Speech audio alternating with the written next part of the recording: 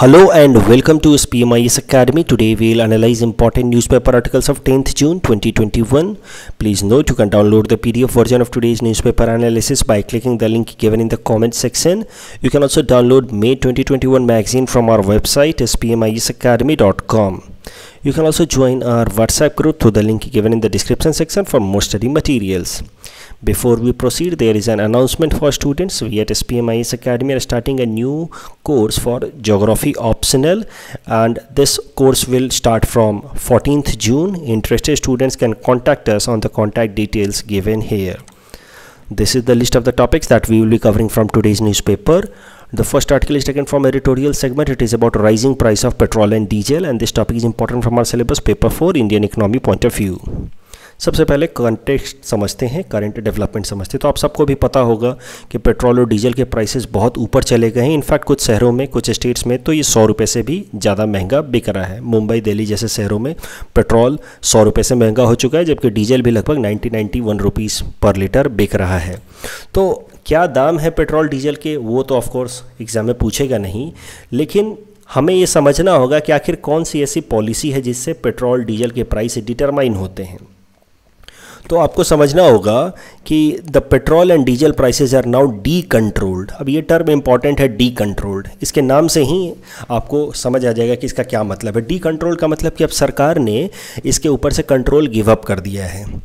पहले कैसा होता था? द प्राइसेस वेयर कंट्रोल्ड सरकार फिक्स करके रखती थी कि तीस रुपये पर लीटर से महँगा नहीं बिकना चाहिए thirty five rupees per litre से महँगा नहीं बिकना चाहिए but after that now it has been decontrol ये काफ़ी सालों से कर दिया सरकार ने डी कंट्रोल मतलब अब उन्होंने इसको मार्केट मैकेनिज्म पे छोड़ दिया है कि अगर मार्केट में डिमांड बढ़ता है तो चीज़ों के दाम भी बढ़ेंगे। डिमांड घटता है तो चीज़ों के दाम भी घटेंगे। सरकार उसमें इंटरफेयर नहीं करेगी। तो यही है मतलब डी कंट्रोल होने का। अब डी कंट्रोल होने से होता क्या है एग्जैक्टली समझिए कि देखिए, हमारे देश में तो क्रूड ऑयल ज़्यादा बनता नहीं है, कच्चा तेल कच्चा तेल जिसको रिफाइन करके हम लोग पेट्रोल डीजल बनाते हैं तो ज़्यादातर तो वो हम लोग इंपोर्ट करते हैं क्रूड ऑयल तो लगभग 75 टू 80 परसेंट हमारा जो क्रूड ऑयल का रिक्वायरमेंट है, वो इंपोर्ट करके ही मीट होता है। तो जब भी इंटरनेशनल मार्केट में क्रूड ऑयल के दाम ऊपर जाते हैं तो हमारे यहाँ पे भी पेट्रोल और डीजल के दाम ऊपर चले जाते हैं और हाल फ़िलहाल में यही हो रहा है कि इंटरनेशनल मार्केट में पेट्रोल और डीजल के दाम ऊपर गए हैं। क्यों? क्योंकि इंटरनेशनल मार्केट में ही क्रूड ऑयल के दाम ऊपर गए हैं। तो इंटरनेशनल मार्केट में क्रूड ऑयल के दाम या पेट्रोल डीजल के दाम ऊपर जाने के कारण हमारे देश में भी पेट्रोल और डीजल के दाम ऊपर चले गए हैं। लेकिन यहाँ पे एक आपको एनॉमली देखने को मिल सकता है। एक एक इनकन्सिस्टेंसी देखने को मिल सकती है कि सर, जब इंटरनेशनल मार्केट में क्रूड ऑयल का दाम ऊपर जाता है तो हमारे देश में पेट्रोल डीजल के दाम ऊपर जाते हैं। लेकिन इंटरनेशनल मार्केट में जब क्रूड ऑयल का दाम नीचे जाता है, कम होता है तो हमारे देश में उस हिसाब से पेट्रोल डीजल सस्ता नहीं होता है। ये आपने ऑब्ज़र्व किया होगा।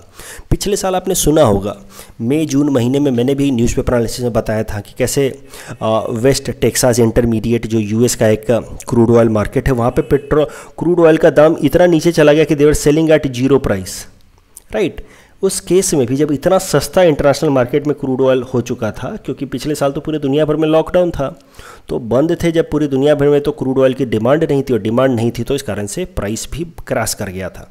वैसे हालात में भी हमारे यहाँ पे पेट्रोल डीजल महँगा था। तो ये एक एनॉमली है जो हम समझने की कोशिश कर रहे हैं with help of this article कि भाई जब इंटरनेशनल मार्केट में क्रूड ऑयल का दाम ऊपर जाता है तो हमारे यहाँ पे प्राइस ऊपर जाता है। But why price do not go down when the international crude oil prices go down. Why it only goes up?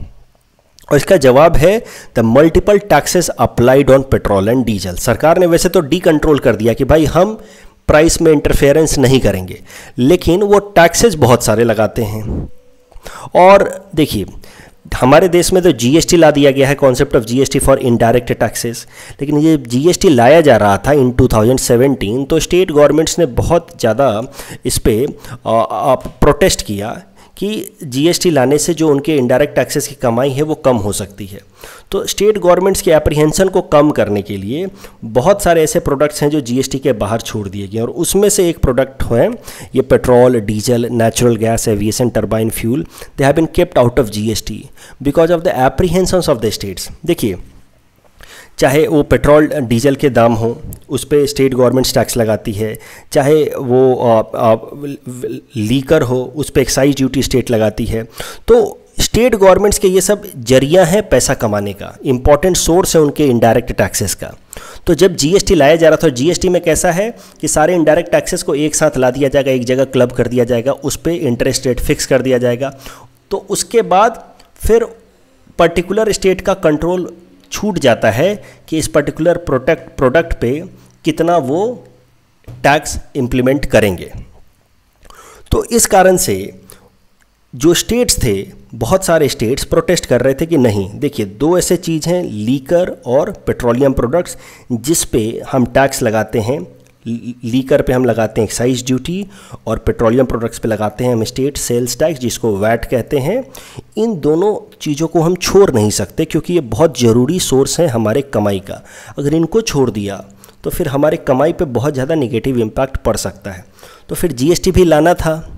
तो सरकार ने फिर प्रपोज किया, सेंट्रल गवर्नमेंट ने कि अच्छा ठीक है, इन दोनों चीज़ों को छोड़ देते हैं, बाकी तमाम चीज़ों को कंबाइन करके उन पर इनडायरेक्ट टैक्स लगा दिया जाएगा जीएसटी और इन दोनों चीज़ों के ऊपर पेट्रोल, डीजल पे और लीकर पे। बाद में विचार किया जाएगा और धीरे से जब कंसेंसस बन जाएगा अमंग्स द स्टेट तब जाकर के इन प्रोडक्ट्स के ऊपर भी जीएसटी लगाया जाएगा। मतलब इनको भी जीएसटी में डाल दिया जाएगा और इन पर एक्साइज ड्यूटी या वैट हटा दिया जाएगा। तो that was the reason why these products like petrol diesel natural gas aviation turbine fuel were kept out of GST और यही कारण है कि आप देखते होंगे, आप ऑब्ज़र्व करते होंगे कि अलग अलग स्टेट्स में अलग अलग जगहों पे पेट्रोल और डीजल के दाम वेरी करते रहते हैं बहुत हद तक। कहीं आपको 93 थ्री रुपीज़ पर लीटर मिल रहा है तो कहीं 103 थ्री रुपीज़ पर लीटर मिल रहा है। और कारण यही है कि कोई स्टेट गवर्नमेंट ज़्यादा टैक्स लगा रही है, कहीं स्टेट गवर्नमेंट्स कम टैक्स लगा रही है तो जहाँ पे कम टैक्स लग रहा है नेचुरली वहाँ पे पेट्रोल, डीजल थोड़ा सस्ता बिक रहा है। जैसे कि अभी हमारे स्टेट आसाम के अंदर थोड़ा वैट कम लगा रही है सरकार, और यही कारण है कि हमारे यहाँ पर थोड़ा सस्ता मिल रहा है with respect to cities like Mumbai and Delhi so that is the reason behind different rates in different states अगर हम लोग पेट्रोल या डीजल की प्राइसिंग की बात करें तो एक बार ज़रा कंपोनेंट देखते हैं क्या क्या इसमें कंपोनेंट्स होते हैं। तो देखिए, एक तो हो जाएगा बेसिक जो डीलर रेट है, जो प्रोड्यूस करने के लिए जो खर्चा है, ये डीलर रेट मान लीजिए पेट्रोल का, अठारह रुपये पर लीटर ये जो बना रहा है, जो बेच रहा है, उसको चाहिए अठारह रुपये पर लीटर सेंट्रल गवर्नमेंट उस पर लगाती है एक्साइज ड्यूटी और एक्साइज ड्यूटी बहुत ज़्यादा होता है। देखिए, अठारह रुपये पर लीटर है और एक्साइज ड्यूटी है thirty two rupees per litre dealer का कमीशन जो हमारे यहाँ पे बेच रहे हैं, जो पेट्रोल पंप वाले, वो भी तो कुछ पैसा लेंगे। तो उनका कमीशन भी हो, कुछ होगा। दूसरा स्टेट गवर्नमेंट्स लगाती है उस पर टैक्स, जिसको हम कहते हैं वैल्यू एडेड टैक्स। वो स्टेट लेवल की सेल्स टैक्स है। ये लगभग सोलह रुपये के आसपास है। ये एग्जैक्ट देखिए, आज के टाइम में तो दाम बहुत बदल चुका है, सौ रुपये के आसपास पर लीटर है। लेकिन ये ब्रेकअप मैं आपको इसलिए दिखा रहा हूँ ताकि आपको एक अंदाज़ा लग सके कि मेन जो कंपोनेंट है क्रूड ऑयल या पेट्रोल उसका दाम तो बहुत कम होता है। लेकिन उस पर जो सेंट्रल गवर्नमेंट एक्साइज ड्यूटी लगाती है या स्टेट गवर्नमेंट वैट लगाती है, वो बहुत ज़्यादा हो जाता है। इसी कारण से दाम बहुत ऊँचा दिखता है। अब ज़रा समझते हैं इस फैक्टर को कि क्यों जब इंटरनेशनल मार्केट में क्रूड ऑयल का दाम ऊपर जाता है तो हमारे यहाँ पे भी पेट्रोल डीजल के दाम ऊपर जाते हैं, लेकिन जब इंटरनेशनल मार्केट में क्रूड ऑयल का दाम नीचे जाता है तो हमारे यहाँ पे पेट्रोल डीजल के दाम नीचे नहीं जाते हैं। इसका कारण है ये टैक्सेस ये सेंट्रल गवर्नमेंट की एक्साइज ड्यूटी और स्टेट गवर्नमेंट की वैट देखिए, जब भी इंटरनेशनल मार्केट में प्राइस ऊपर जाता है, देखिए, ज़रा ध्यान से समझिए। ये इंटरनेशनल मार्केट है, ये हमारी सरकार है सेंट्रल और स्टेट लेवल की, और ये हमारा डोमेस्टिक मार्केट है। तो नेचुरली इंटरनेशनल मार्केट में जब दाम ऊपर जाना चाहिए तो डोमेस्टिक मार्केट में भी दाम ऊपर जाना चाहिए, लेकिन हुआ क्या? होता क्या है? कि देखिए जैसे पैंडेमिक के टाइम में पिछले साल मई, जून की बात अगर की जाए, मई या जून महीने की, जब पूरे दुनिया भर में लगभग हर चीज़ बंद था, चाहे ट्रैफ़िक से लेकर के आप आप ट्रांसपोर्टेशन से लेकर के इंडस्ट्री की बात करें तो हर चीज़ बंद था तो क्रूड ऑयल की डिमांड कम थी। क्रूड ऑयल की डिमांड कम थी तो इंटरनेशनल मार्केट में क्रूड ऑयल की प्राइस नीचे गई, बहुत हद तक नीचे गई। मैंने तो आपको बताया कि कैसे डब्ल्यूटीआई में तो प्राइस क्रैश कर गया था। यूएस का एक मार्केट है, क्रूड ऑयल का market, west Texas intermediate. Price crash कर गया था, ज़ीरो पे चला गया था। तो मतलब हर जगह प्राइस नीचे गया था during the pandemic last year उस टाइम में सरकारों ने हमारे क्या किया? अपना अपना टैक्स बढ़ा दिया। सेंट्रल गवर्नमेंट ने एक्साइज ड्यूटी बढ़ा दिया स्टेट गवर्नमेंट ने वैट बढ़ा दिया। तो मान लीजिए कि दाम गया, नीचे बीस रुपये नीचे गया। इन्होंने अपना बीस रुपये दाम बढ़ा दिया। अपना टैक्स बढ़ा दिया। इससे हुआ क्या कि जो डोमेस्टिक मार्केट है उसमें प्राइस में कोई अंतर नहीं पड़ा। एक, इमेजिन कीजिए कि पहले अस्सी रुपये पर लीटर मिल रहा था डोमेस्टिक मार्केट में। अब इंटरनेशनल मार्केट में दाम नीचे जाने के कारण तीस रुपये दाम नीचे गया तो मार्केट में हमारे डोमेस्टिक मार्केट में ये पचास रुपये पर लीटर मिलना चाहिए। लेकिन इन्होंने क्या किया स्टेट और सेंटर ने तीस रुपये टैक्स बढ़ा दिए। तो ओवरऑल हमारे डोमेस्टिक मार्केट में कोई प्राइस में अंतर नहीं आया। तो ये थी पिछले साल पैंडेमिक की बात। और पेंडेमिक में यानी कि हुआ क्या, इन्होंने अपना टैक्स बढ़ा दिया काफ़ी हद तक। फॉर एग्ज़ाम्पल देखिए, यहाँ पे मैंने डाटा भी दे रखा है कि जनवरी 2020 में पेट्रोल के ऊपर एक्साइज ड्यूटी 26.6 परसेंट डीजल के ऊपर एक्साइज ड्यूटी 23.3 परसेंट और फरवरी 2021 की बात की जाए तो पेट्रोल के ऊपर देखिए एक्साइज ड्यूटी कितना बढ़ चुका है 37 परसेंट तक, और डीजल के ऊपर एक्साइज ड्यूटी कितना बढ़ चुका है 40 परसेंट तक। इन्होंने एक्साइज ड्यूटी और स्टेट ने वैट अपने बढ़ा दिए थे ड्यूरिंग द पैंडेमिक और इसी कारण से उस टाइम में इंटरनेशनल मार्केट में दाम नीचे जाने के बावजूद भी हमारे डोमेस्टिक मार्केट में दाम मोर और लेस वही था, जो पैंडेमिक से पहले हुआ करता था। अब पोस्ट पैंडेमिक पोस्ट पैंडेमिक से मेरा मतलब ये नहीं है कि पैंडेमिक ख़त्म हो चुका है, हम अभी भी हम लोग सेकेंड वेव से गुजर रहे हैं। पोस्ट पैंडेमिक से मेरा मतलब है कि जो पिछले साल लॉकडाउन थे, उस तरह के लॉकडाउन्स तो अभी है नहीं रिस्ट्रिक्शंस है नहीं। तो उस सेंस में मैं बोल रहा हूँ पोस्ट पैंडेमिक की जो इकोनॉमी के ऊपर पैंडेमिक का सीधा असर था, वो तो ख़त्म हो चुका है कम से कम। इकोनॉमी तो मूव कर रही है। तो इकोनॉमी मूव करने के कारण ट्रांसपोर्टेशन हो रहा है इंडस्ट्री चल रही है। तो पोस्ट पैंडेमिक यानी कि पैंडेमिक का जो पीक टाइम था जिसमें लॉकडाउन्स थे, उसके बाद से फिर से इंटरनेशनल मार्केट में प्राइस नॉर्मल हो गया प्री पैंडेमिक प्राइस चला गया। मान लीजिए कि पैंडेमिक से पहले इंटरनेशनल मार्केट में दाम था अस्सी रुपये पर लीटर तो वापस से पैंडेमिक के टाइम में पचास रुपये पर लीटर हुआ था और अब वापस से अस्सी रुपये पर लीटर हो गया प्री पैंडेमिक प्राइस आ गया। लेकिन हमारी सरकारों ने क्या किया है, वो जो टैक्स इन्होंने बढ़ाया था एक्साइज ड्यूटी या स्टेट्स ने वैट बढ़ाया था, इसको इन्होंने वापस से घटाया नहीं। प्री पैंडेमिक रेट नहीं लाया। और यही कारण है कि हमारे डोमेस्टिक मार्केट में प्राइस ऊपर चले गए हैं। तो अगर सरल शब्दों में कहें तो भाई जब इंटरनेशनल मार्केट में दाम नीचे गया तो सरकारों ने मौका देखा और दाम बढ़ा दिया। और आम आदमी को बेनिफिट पास नहीं किया।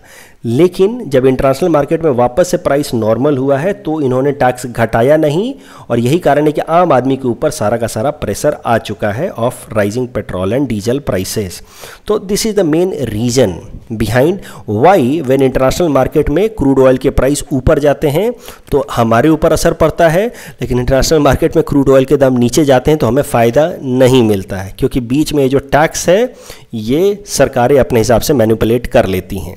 और अब यहाँ पे देखिए, धर्मेंद्र प्रधान जी से ये आर्टिकल इसी बेसिस पे आया ही है कि हमारे जो यूनियन मिनिस्टर हैं पेट्रोलियम और नेचुरल गैस के, धर्मेंद्र प्रधान जी, उनसे पूछा गया कि, सर, आप लोग एक्साइज ड्यूटी क्यों नहीं घटा रहे? तो उस पर उन्होंने कहा कि the government was not correctly currently considering any cuts in taxes on petrol and diesel at present the earning is less we can not compromise on the expenditure the expenditure of health sector has increase तो ये कह रहे हैं कि भाई देखिए, हम लोग अभी टैक्स कट नहीं कर सकते क्योंकि हेल्थ सेक्टर में बहुत ज़्यादा खर्च करना पड़ रहा है। तो खर्चे बढ़ गए हमारी और कमाई के सोर्सेज कम हो गए because of pandemic second wave of pandemic तो इसी कारण से अभी तो हम लोग इस पेट्रोल डीजल पे टैक्स कट नहीं कर सकते। अभी हमें पैसा चाहिए और इसलिए लोगों को थोड़ा बर्डन तो फेस करना होगा, सौ रुपये लीटर पेट्रोल खरीदना होगा। अब इस पूरी बात को अगर एक लाइन में समझा जाए कि चल क्या रहा है, कि भाई हेल्थ पे हमें खर्च करना है, इसलिए हम पेट्रोल डीजल के दाम नहीं घटा रहे हैं। तो इससे हुआ क्या? इसको अगर ध्यान से समझिए तो एक सर्कुलर चीज़ें हैं। सर्कुलर मोशन हो रहा है, या सर्कुलर मूवमेंट हो रहा है फंड का। ये हम लोग हैं, हम लोग टैक्स भरते हैं सरकारों को राइट right? अलग अलग तरह के टैक्स भरते हैं, जैसे इस केस में पेट्रोल डीजल के ऊपर हम लोग एक्साइज ड्यूटी या वैट की बात कर रहे हैं। तो we pay more tax on petrol and diesel right now we are paying more tax जितना नॉर्मली हम भरते हैं तो उससे ज़्यादा टैक्स भर रहे हैं पेट्रोल डीजल पे। सरकारों के पास ये पैसा पहुँच रहा है और वही पैसा सरकारें हमारे पास, हमारे ऊपर खर्च कर रही हैं, हमें सस्ते दामों पे वैक्सीन वगैरह प्रोवाइड करा के। तो मतलब हमारे ही जेब से, एक जेब से पैसा लिया जा रहा है। By applying more and more tax on petrol and diesels in form of excise duty and VAT और उसी पैसे की मदद से हमें फ्री में वैक्सीन या जो भी हेल्थ फैसिलिटीज़ हैं, वो दी जा रही हैं करेंट पेंडेमिक तो इस चीज़ को आपको समझने की ज़रूरत है कि सरकारों के पास अपना कोई स्पेशल कोई फंड नहीं है कि जहाँ से वो फंड जनरेट कर दें. दे कैन नॉट वो पैसा बस रोटेट कराते हैं। हमारा ही पैसा है जो घूम के हमारे ऊपर खर्च होता है। The problem is that we are very much interested in these subsidies कि हमें हमें हर चीज़ फ्री में चाहिए। हमें पानी फ्री में चाहिए, बिजली, आप, बिजली फ्री में चाहिए। जो भी सरकारें ये कमिटमेंट करती हैं कि हमें हम आपको ये सब चीज़ें फ्री में देंगे, हम उसके तरफ़ ज़्यादा अट्रैक्ट हो जाते हैं, उसको वोट देते हैं। लेकिन हमें इस बात को समझना है कि ये तो सब हमारी ही जेब से जा रहा है। इस पर्टिकुलर केस में भी देखिए, अगर हमें वैक्सीन फ्री में मिल रही है सरकारी अस्पतालों में तो उसका पैसा भी हम ही दे रहे हैं। तो इसको फ्री कहना बहुत हद तक जस्टिफाइड नहीं है। So the question is regarding this subsidy कि ये जो सब्सिडी है, ये बहुत बड़ा प्रॉब्लम है। ये सब्सिडी का पैसा जो है, वो ऐसा नहीं है कि सरकारें दे रही हैं, हमारे जेब से ही जा रहा है। तो इसको अच्छे तरह से मैनेज करना बहुत इंपॉर्टेंट है। और इसी टॉपिक पे डिस्कशन किया था इकोनॉमिक सर्वे 2016 ने, जब उसने एक चैप्टर पब्लिश किया था चैप्टर सिक्स जिसमें उसने कहा था bounties to well off bounties से उसका मतलब था सब्सिडीज जो फ़ायदा है ना सब्सिडीज़ का ज़्यादातर अमीर लोगों को पहुँच जाता है। बाउंटीज टू वेल ऑफ़ ये उसने हाईलाइट किया था। जैसे इस पर्टिकुलर केस में भी यही हो रहा है। देखिए पेट्रोल डीजल के दाम बढ़ने से तो आम आदमी को भी बहुत असर पड़ रहा है, क्योंकि आम आदमी बस में चलता है ऑटो में टेंपो में बैठता है, डीजल दाम के बढ़ने से, पेट्रोल के दाम बढ़ने से, आम आदमी का डेली का ट्रांसपोर्टेशन खर्चा बढ़ गया है। पेट्रोल, डीजल के दाम बढ़ने से, ट्रांसपोर्टेशन का खर्चा बढ़ने से, फल, मूल, सब्जियों के दाम भी बढ़ गए क्योंकि ट्रांसपोर्टेशन से वो के ऊपर वो डिपेंडेंट हैं। तो आम आदमी को तो पेट्रोल, डीजल के दाम बढ़ने का पूरा पूरा इम्पैक्ट उठाना पड़ रहा है। लेकिन जो फ़ायदा है ये जो फ़ायदा है पेट्रोल डीजल से जो टैक्स कलेक्ट हो रहा है इसका फ़ायदा तो देखो सब लोगों को मिल रहा है। रिच से रिच इंसान को भी आ, आप देखिए अगर वो सरकारी अस्पताल में जाता है तो उसको फ्री में वैक्सीन मिल जाएगा। तो अभी वैक्सीन के केस में तो चलो सरकार ने फिर भी थोड़ा सा डिस्टिंक्शन किया है कि प्राइवेट अस्पतालों में एक दाम लिया जा रहा है, नौ सौ हज़ार रुपये लिया जा रहा है, सरकारी अस्पतालों में उसको बहुत सस्ते दामों में फ्री में दिया जा रहा है। Right right. लेकिन इस तरह का डिस्टिक डिस सेग्रीगेशन उनको हर केस में करना चाहिए जहाँ पे भी वो सब्सिडाइज प्रोडक्ट देते हैं। कोई भी प्रोडक्ट अगर सब्सिडाइज तरीके से दिया जा रहा है तो वो वेल ऑफ़ कैटेगरी को रिच कैटेगरी को नहीं जाना चाहिए। क्योंकि वो पैसा तो आम आदमी से ही आता है तो हर गरीब आदमी पैसा देता है, जैसे इस केस में आप देखिए, और फिर वो पैसा घूम करके अगर सब लोग को मिले रिच और पुअर सबको मिले तो एक तरीके से ये, आप समझिए मिसमैनेजमेंट हो जाएगी। एंड और ये हमारे देश में अक्सर होता है बाउंटीज टू वेल ऑफ़ इसका कई सारा आप एग्ज़ाम्पल देखिए। मैं दूसरा एग्ज़ाम्पल देता हूँ, जो इकोनॉमिक सर्वे ने दो हज़ार सोलह में दिया था। हमारी जो ट्रेनें चलती हैं ना ट्रेनों में जो एसी क्लास के जो बॉगीज़ होते हैं, उसका जो हमसे दाम लिया जाता है टिकट का प्राइस लिया जाता है, वो काफ़ी ज़्यादा सब्सिडाइज होता है। अगर हम दो हज़ार रुपये देते हैं तो उस टिकट पे खर्चा आता है लगभग बाईस सौ, चौबीस सौ रुपये का। तो सरकार उसको सब्सिडी देती है उसके ऊपर। अब आप सोचिए, जो एसी क्लास में इंसान ट्रैवल कर रहा है, वो तो रिच माना जाएगा ना हमारे देश में। ट्रेन के अंदर एसी में ट्रैवल कर रहा है। और सरकार उसको सब्सिडी दे रही है। ट्रेन के दाम ट्रेन की जो एसी क्लास की बर्थ्स हैं, उसको सब्सिडाइज तरीके से दे रही है। So that is an example of bounties to well off और वो पैसा सरकार ने कहाँ से दिया होगा? एसी क्लास के लोगों को थोड़ी सब्सिडी कैसे दी? आम आदमी से टैक्स कलेक्ट करके। तो ये चीज़ें जो हैं, इसको अच्छे से समझने की ज़रूरत है और कभी भी सब्सिडी पे सवाल आए तो आपको बाउंटीज टू वेल ऑफ़ जो इकोनॉमिक सर्वे ने हाईलाइट किया था 2016 में इशू उसको लिखना है और कहना है कि सब्सिडी देने में कोई बुरी बात नहीं है, लेकिन सब्सिडी में प्रॉपर सेग्रीगेशन होना चाहिए, ताकि जो बेनिफिट्स हैं वो सिर्फ़ लोअर कैटेगरी के लोगों को पहुँचे अगर benefit of the subsidy goes to each and every class then it will lead to kind of mismanagement लेकिन हमारे देश में ऐसा होता है बिकॉज़ ऑफ़ पॉपुलिज्म हमारे देश में डेमोक्रेसी मानी जाती है तो हर पाँच साल पे इलेक्शन होता है और सरकारें जो हैं, वो out of competition they make parabolic promise कि हम ये फ्री कर देंगे, बिजली फ्री कर देंगे, पानी फ्री कर देंगे। आप कीजिए, लेकिन साथ ही साथ आप ये भी इंश्योर कराइए कि जो फ्री बिजली पानी उन्हीं लोगों को मिले जिनको इसकी ज़रूरत है। उन लोगों को ना मिले जो पाँच सौ का, हज़ार रुपये का पिज़्ज़ा खा लेते हैं और आप उनको बिजली फ्री में दे रहे हैं। That is a kind of populism not a prudent activity तो ये चीज़ें आपको ध्यान में रखनी है, कभी भी सब्सिडीज़ पे और टैक्सेस पे सवाल आए तो। इस टॉपिक के बेसिस पे हमने आपको ये प्रैक्टिस क्वेश्चन दे रखा है। You can attempt this question and you can submit the answer in the comment section the next article taken from international segment it is about India elected to eco sock and this topic is important from our syllabus paper three international agencies point of view देखिए eco इकोसॉक के बारे में हमने थोड़े दिन पहले भी बात किया था। Eco इकोसॉक is one of the six principal organ of United Nation established under UN charter of 1945 इकोसॉक नाम से आप समझ रहे हैं इकोनॉमिक एंड सोशल काउंसिल तो इसका पर्पस ही कि पूरे दुनिया भर में लोगों की स्टैंडर्ड ऑफ़ लिविंग को इम्प्रूव कराए सोशल जस्टिस लाए सोशल प्रोग्रेस लाए। और यही कारण है कि यूनाइटेड नेशन से जो भी इंटर जो एजेंसीज इसके साथ इंटरेक्ट करती हैं जिनको हम लोग कहते हैं specialise agencies of United Nation सब के सब इकोसॉक के ओवरऑल डायरेक्शन के अंदर काम करती हैं। ये स्पेशलाइज एजेंसीज आपने नाम सुन रखा होगा International Labour Organisation Food Agricultural Organisation ये सब कही जाती हैं specialise agencies of United Nations ये जो स्पेशलाइज एजेंसीज हैं fifteen specialise agencies of United Nation ये डायरेक्टली यूनाइटेड नेशंस का हिस्सा नहीं है। यूनाइटेड नेशंस के हिस्सा तो बस ये छः ऑर्गेनाइजेशन ही है बस। General Assembly Security Council Trusteeship Council इकोसॉक ICJ and secretariat लेकिन ये जो बाकी स्पेशलाइज एजेंसीज हैं they are associated with इकोसॉक and they are a kind of having an agreement with United Nation to work in different fields in in order to bring higher standard of living and social progress और इसी कारण से ये सारे के सारे जो specialise agencies हैं they work under coordination of eco इकोसॉक अभी इकोसॉक के बारे में समझते हैं जरा और। इकोसॉक के जो मेंबर्स होते हैं there are 54 member countries of इकोसॉक और ये जो 54 मेंबर कंट्रीज़ हैं इकोसॉक के, देखिए जनरल असेंबली में तो 193 मेंबर्स होते हैं। जो भी यूनाइटेड नेशन का मेंबर होगा, वो जनरल असेंबली का मेंबर तो ज़रूर होगा।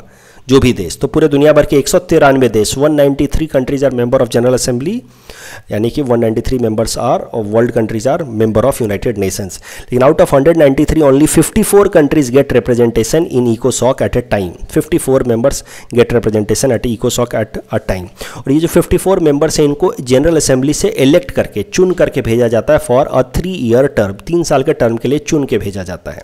तो दो तीन दिनों पहले भी हम बात कर रहे थे, जब यूनाइटेड नेशन प्रेसिडेंट इलेक्शन की हमने बात की थी तो बताया था कि कैसे यूनाइटेड नेशन ने पूरे दुनिया को पाँच रीजन में डिवाइड कर रखा है। अफ्रीकन ग्रुप जो सबसे लार्जेस्ट ग्रुप है, उसके बाद एशिया पैसिफिक ग्रुप जो उसके दूसरे नंबर पर है, फिर Eastern European group Latin American and Caribbean group ये वाला और Western European and others group ये पाँच रीजन में डिवाइड कर रखा और पाँचों रीजन को अलग अलग सीट अलॉट कर रखे हैं इकोसॉक में। फॉर एग्जांपल अफ्रीकन ग्रुप चूँकि सबसे बड़ा तो उसको चौदह सीटें दे रखी हैं।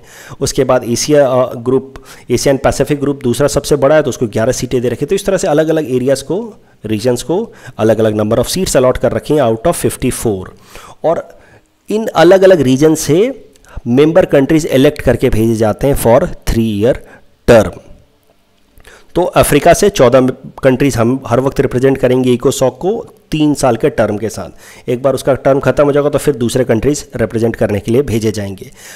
अभी करंट न्यूज़ क्या है कि इंडिया को इस एशिया पैसिफिक रीजन से इलेक्ट करके भेजा गया है in इकोसॉक for three year term from 2022 to 2024 इस टॉपिक के बेसिस पे हमने आपको ये प्रैक्टिस क्वेश्चन दे रखा है। You can attempt this question and you can submit the answer in the comment section the next article taken from international segment again this is about QS world quality ranking survey this topic is important from our syllabus paper 3 governance point of view specially from education segment तो Q S world university ranking के बारे में ज़रा समझते हैं, कौन publish करता है? तो देखिए Q S world ranking is an annual publication of university ranking हर साल दुनिया के जो भी यूनिवर्सिटीज़ हैं, उनकी रैंकिंग उनकी क्वालिटी के बेसिस पे रैंकिंग पब्लिश की जाती है। और ये जो रैंकिंग है Q S world ranking it is published by an organisation जिसका नाम है क्वाकेरली सेमोंड्स ऑर्गेनाइजेशन। ये ब्रिटेन की एक ऑर्गेनाइजेशन है, एजुकेशन नेटवर्क कंपनी है, जिसको पूरे दुनिया भर के, जो एन हैं, जो सरकारें हैं, जो यूनिवर्सिटीज़ हैं, उसको फंड करती हैं कि आप प्रॉपर स्टडी करके पूरे दुनिया भर की यूनिवर्सिटीज़ की एक ट्रांसपेरेंट तरीके से रैंकिंग पब्लिश करें कि कौन सी यूनिवर्सिटी बेस्ट है, उसके बाद कौन सी है। तो इस तरीके से यूनिवर्सिटीज़ की रैंकिंग पब्लिश की जाती है। और हर साल ये रैंकिंग पब्लिश की जाती है on the basis of six metrics like academic reputation employers reputation faculty student ratio citations per faculty एक फैकल्टी ने ऑन एन एवरेज कितना रिसर्च पेपर पब्लिश किया है? International faculty and international students तो अलग अलग कैटेगरीज में अलग अलग मेट्रिक्स के बेसिस पे जो दुनिया भर की यूनिवर्सिटीज़ हैं उनकी रैंकिंग पब्लिश की जाती है। और हर साल ये रैंकिंग पब्लिश की जाती है। तो अभी 2021 में रैंकिंग पब्लिश की गई है। इसमें एक खास बात यह है कि 2021 में जो रैंक पब्लिश की गई है, उसका नाम दिया जाता है Q S world university ranking 2022 जब पिछले साल पब्लिश किया गया था 2020 में तो उसको नाम दिया गया था Q S world university ranking of 2021 तो एक साल ये लोग बढ़ा करके देते हैं। तो इसके पीछे भी लॉजिक ये है कि अगले साल जो बच्चे एडमिशन लेना चाहते हैं किसी अलग अलग कोर्सेज में, उनके लिए ये टॉप की यूनिवर्सिटीज़ ये हैं, ऐसा इनका कहने का मतलब है।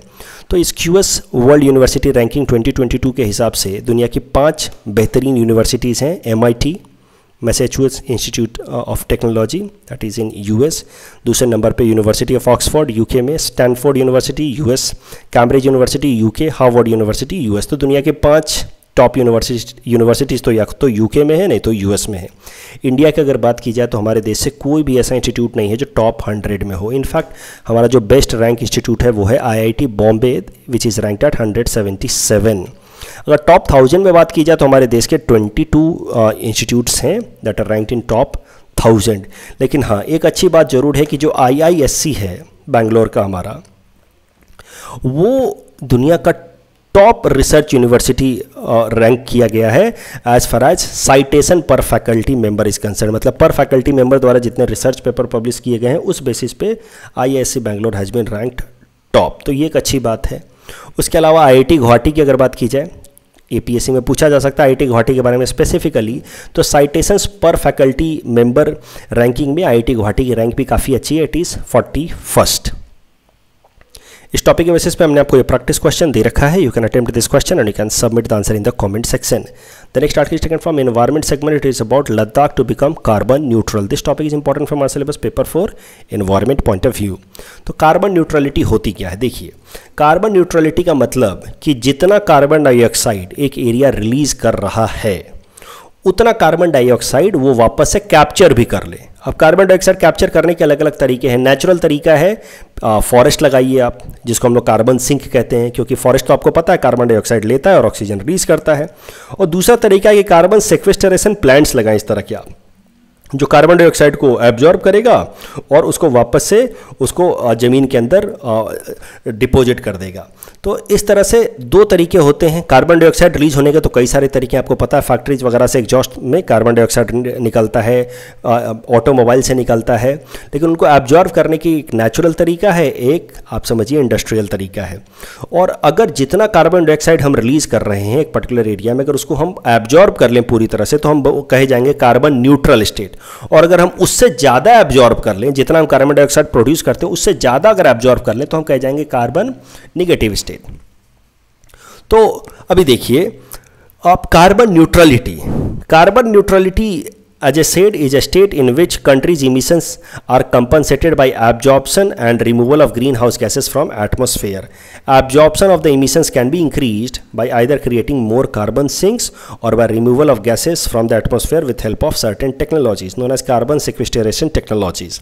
अब थोड़ा करंट आर्टिकल का बैकग्राउंड समझते हैं हमारे प्रधानमंत्री नरेंद्र मोदी जी ने पिछले साल का 15 अगस्त के भाषण में 2020 के इंडिपेंडेंस डे के भाषण में उन्होंने कहा कि लद्दाख वाले एरिया को, यानी कि लद्दाख के अंदर जो लेह और कारगिल वाला एरिया है, उसको डेवलप किया जाएगा as India's first carbon neutral region. देखिए, हमारे देश में छोटे छोटे एरियाज़ तो हैं जो कार्बन न्यूट्रल हैं, जैसे कि दिल्ली का IGI airport Indira Gandhi international airport माना जाता है कि कार्बन न्यूट्रल है। उसके अलावा केरला या मणिपुर में कुछ छोटे छोटे गाँव हैं जिनको माना जाता है कि कार्बन न्यूट्रल है। लेकिन कोई लार्ज स्केल पर अभी तक या लार्जर किसी एरिया को अभी तक कार्बन न्यूट्रल एरिया बनाया नहीं गया है, अभी तक हमारे देश में। और मोदी जी ने अपने भाषण में यही कहा कि आने वाले टाइम में हम लद्दाख को पहला लार्ज एरिया या large region carbon neutral place बनाएँगे। तो ये भाषण में उन्होंने बताया टारगेट सेट किया और इस टारगेट को अचीव करने के लिए अब करंट डेवलपमेंट्स हुए हैं। जब हमारे देश की एक एजेंसी है कन्वर्जेंस एनर्जी सर्विस लिमिटेड उन्होंने यूनियन टेरिटरी ऑफ़ लद्दाख के एडमिनिस्ट्रेशन के साथ एक अग्रीमेंट साइन किया है in order to achieve this target of attaining carbon neutral status of Ladakh. ये जो एजेंसी है कन्वर्जेंस एनर्जी सर्विस लिमिटेड ये भारत सरकार की ही कंपनी है। इनफैक्ट भारत सरकार की जो कंपनी है एनर्जी एफिशिएंसी सर्विस लिमिटेड ई उसके अंतर्गत ये कंपनी आती है। कन्वर्जेंस एनर्जी सर्विस लिमिटेड तो मिनिस्ट्री ऑफ़ पावर के नीचे आती है ई e और ई e होल्ड करती है या रन करती है कन्वर्जेंस एनर्जी सर्विस लिमिटेड जिसने अग्रीमेंट साइन किया है लद्दाख के एडमिनिस्ट्रेशन के साथ, ताकि कार्बन न्यूट्रलिटी का जो टारगेट हमारे प्रधानमंत्री जी ने सेट किया था for Ladakh region to make it first larger region being a carbon neutral place वो अचीव किया जा सके। इस टॉपिक के बेसिस पे हमने आपको प्रैक्टिस क्वेश्चन दे रखा है। You can attempt this question and you can submit the answer in the comment section the next article second from Assam segment it is about seventh national park of Assam this topic is important from our syllabus paper six Assam issues point of view तो देखिए, अब असम सरकार ने सातवां national park भी declare कर दिया है और वह है दीहिंग पटकाई नेशनल पार्क मैंने आपको बताया था कि अब छः नेशनल पार्क तो ऑलरेडी हो चुके हैं। अब सातवां नेशनल पार्क जल्दी ही असम सरकार डिक्लेयर करेगी। पिछले साल ही उन्होंने अनाउंस कर दिया था, जुलाई में कि दहिंग पटकाई को नेशनल पार्क बनाएँगे। But because of some technical reasons वो इसको डिक्लेयर अभी तक नहीं कर पाए थे। लेकिन अब जो बेसिक फॉर्मेलिटीज़ बची थी, वो भी कंप्लीट कर लिया गया है और दहिंग पटकाई को अब नेशनल पार्क, हमारे स्टेट का सातवां नेशनल पार्क डिक्लेयर कर दिया गया है। दहिंग पटकाई के बारे में कुछ बेसिक इन्फॉर्मेशन देख लेते हैं, क्योंकि आने वाले एग्ज़ाम के लिए इंपॉर्टेंट हो चुका है। तो Dehing Patkai national park is spread over two district Dibrugarh and Tinsukia having an area of about 234.26 square kilometre Dehing Patkai नाम इसलिए पड़ा है क्योंकि यहाँ से एक नदी गुजरती है दहिंग नदी और बगल में इसके पहाड़ है पटकाई हिल्स तो पटकाई हिल्स और फुट हिल्स में से नदी गुजर रही है दहिंग नदी इन दोनों कॉम्बिनेशन के कारण इस एरिया का जो फॉरेस्ट उसका नाम रख दिया गया Dehing Patkai wild life sanctuary और अब उसको नेशनल पार्क बना दिया गया इनफैक्ट ये Dehing Patkai wild life sanctuary 2004 में बनाया गया था और अब 2021 में इसको नेशनल पार्क का स्टेटस दे दिया गया है। ये जो Dehing Patkai wild life sanctuary या नेशनल पार्क वाला एरिया है, यहाँ का जो फॉरेस्ट है, उसको हम लोग कहते हैं जयपुर रेन फॉरेस्ट और ये इस एरिया का एवरग्रीन या वेट एवरग्रीन फॉरेस्ट नाम से भी जाना जाता है ये अरुणाचल प्रदेश और असम वाले बॉर्डर में ये एरिया पड़ता है। तो इस एरिया में आपको पता होना चाहिए कि एवरग्रीन रेन फॉरेस्ट मिलते हैं इन जयपुर रेन फॉरेस्ट और वहीं पे फिर ये Dehing Patkai national park establish किया गया है। अगर दहिंग पटकाई के फ्लोरस फोनस के बारे में बात की जाए, खासकर कि कौन कौन से स्पीसीज मिलते हैं यहाँ पर तो आपको जानना चाहिए कि यहाँ पर चाइनीज़ पेंगोलियन मिलता है। ये सबसे इंपॉर्टेंट है, ये याद रखना कि यहाँ पे चाइनीज़ पेंगोलियन मिलता है, उसके अलावा flying fox wild pig sambar barking deer gaur serow Malayan giant squirrels ये तो मिलते ही हैं, लेकिन चाइनीज़ पेंगोलिन मुझे लगता है इंपॉर्टेंट इसलिए मैंने इसको हाईलाइट कर रखा है, इसको याद रखना। उसके अलावा यहाँ पे तेहिंग पटकाई नेशनल पार्क में we have highest concentration of rare endangered white winged wood duck ये जो वाइट विंग्ड वुड डक है it is state bird of Assam and it is categorised as endangered in I U C N red data book The next article is again taken from Assam segment. It is about police reforms in Assam. This topic is important from our syllabus, paper 6, Assam issues point of view. तो क्या है news सबसे पहले ये समझते हैं। आसाम सरकार ने सीरीज़ ऑफ़ डिसीजंस लिए हैं। कई सारे फैसले लिए in order to bring reforms in police system in Assam तो क्या क्या फैसले लिए गए हैं? एक एक करके समझते हैं। ये आप देखिए यहाँ पे आप देखिए conference of superintendent of police बुलाई गई थी। That conference was headed by और चेयर्ड बाई और चीफ मिनिस्टर हिमंता बिश्व शर्मा साहब और इस कॉन्फ्रेंस में हिमंता बिश्व शर्मा साहब ने कुछ मेजर अनाउंसमेंट्स किए हैं regarding police reforms in Assam उन्होंने कहा है कि देखिए वर्क लाइफ बैलेंस बनाए रखने के लिए पुलिस ऑफिसर्स का या पुलिस पर्सनल्स का उनकी ड्यूटी को दो शिफ्ट में बांटा जाएगा। और एक शिफ्ट मैक्सिमम बारह घंटे की होगी। तो एक दिन में बारह घंटे की छुट्टी भी होगी पुलिस ऑफिसर्स को या पुलिस पर्सनल्स को, सबको। दिक्कतें क्या हैं अभी तक कि पुलिस का अपना कोई काम करने का टाइमिंग ही नहीं होता है। कोई उनका they are always on duty और इस कारण से वो वर्क लाइफ बैलेंस मैनेज नहीं कर पाते, बहुत बार मेंटल स्ट्रेस बहुत ज़्यादा बिल्ड हो जाता है। तो अब क्लियर कट डिफाइन कर दिया कि जैसे रेलवे में होता है बैंक में होता है, वैसे ही पुलिस वालों की भी अपने दो शिफ्ट की ड्यूटी होगी। मॉर्निंग शिफ्ट नाइट शिफ्ट और शिफ्ट एक शिफ्ट बारह घंटे की होगी। तो कम से कम बारह घंटे तो चैन से आराम कर सकते हैं कि भाई, अब हम ड्यूटी पर नहीं है तो अब हमारी ज़िम्मेदारी नहीं है। अदरवाइज़ आप अगर पुलिस में चले जाएँ, अगर आप एपीएस बन जाए तो फिर अभी तक तो ऐसा ही माहौल है कि आप हर वक्त ड्यूटी पे हैं। आप सो भी रहे तो भी आप आप बस सो नहीं रहे हैं। किसी वक्त कुछ भी कॉल आ सकता है और आपको फिर जाना पड़ सकता है, भागना पड़ सकता है। तो वो जो मेंटल पीस होता है इंसान को, वो कहीं ना कहीं वो बहुत हद तक उस पर इम्पैक्ट पड़ता है। तो उसको एड्रेस करने के लिए ये दो शिफ्ट में बांटा गया है पुलिस की ड्यूटी को और एक शिफ्ट बारह घंटे की होगी। उसके अलावा जो पुलिस फोर्स किसी दूसरे बटालियन के साथ उनको पोस्ट किया गया है, यानी कि फैमिली के साथ नहीं रह रहे हैं वो लोग, जो भी पुलिस फोर्सेस उनको साल में एक महीने की स्पेशल छुट्टी दी जाएगी, ताकि वो अपने फैमिली के साथ टाइम स्पेंड कर सकें। उसके अलावा सिक्योरिटी को स्ट्रेंथन करने के लिए 10 ऐसे स्पेशल कमांडोज के बटालियंस बनाए जाएँगे। और ये जो स्पेशल कमांडो बटालियन होंगे they will be in line with an commandos जो नेशनल सिक्योरिटी गार्ड के कमांडोज होते हैं सेंट्रल लेवल पे, उस लेवल के। They are consider to be the toughest commandos उस लेवल के 10 कमांडो बटालियन हमारे स्टेट में बनाए जाएँगे, ताकि हमारे स्टेट के अंदर जो थोड़ी बहुत भी अभी सिक्योरिटी चैलेंजेज हैं, जैसे तिनसुकिया रीजन में समझ लीजिए या कोकराझार रीजन में, उसको भी टैकल किया जा सके और पूरी तरह से हमारे स्टेट को पीसफुल बनाया जा सके और सेफ़ सिक्योर बनाया जा सके।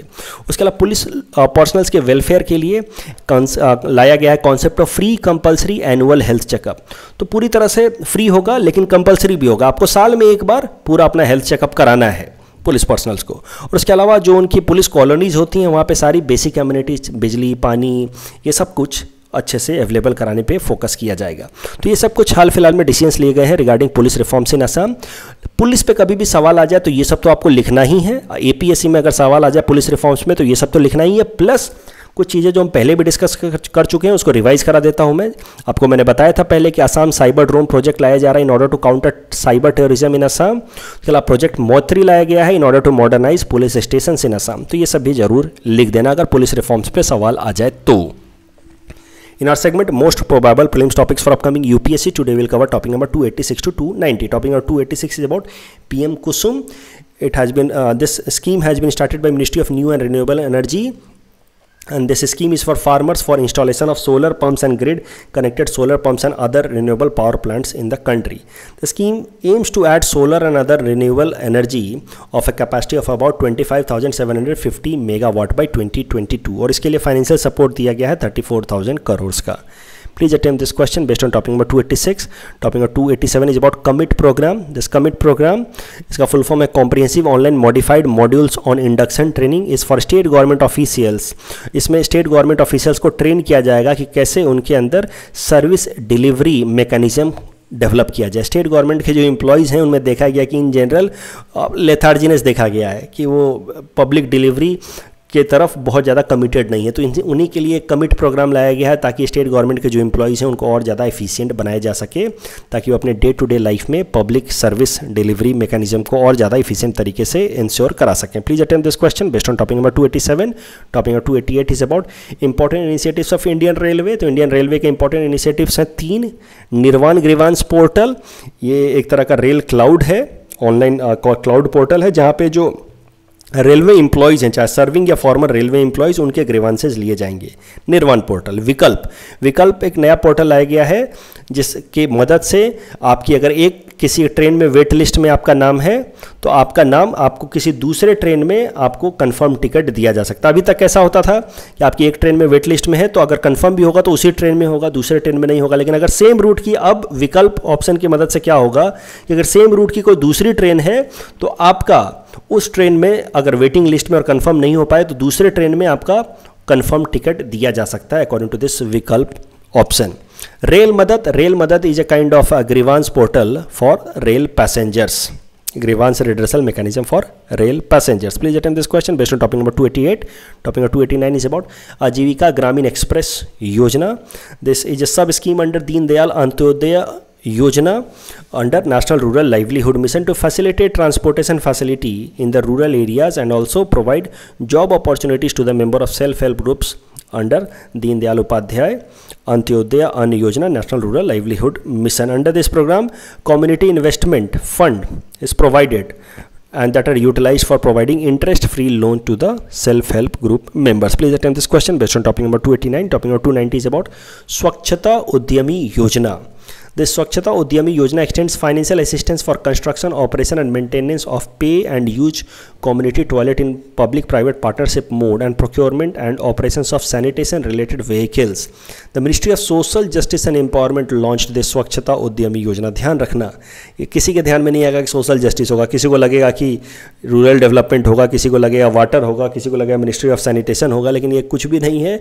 Swachhata Udyami has been brought by ministry of social justice and empowerment तो इस पर सवाल बन सकता है। Please attempt this question based on topic number 290 this is answer question number 281 two two eighty five that we are given in studies newspaper analysis today's question can be attempted by students and can submit the answer in the comment section will be sending answer of this question in tomorrow's newspaper कल जो हमने practice question दिया था, उसका answer देख लेते हैं। Black sea and sea of Marmara is connected with strait of Bosporus E hundred pilot project is with respect to ethanol production and distribution so the correct answer is option C for both question That's all from our side for today. Thanks for watching.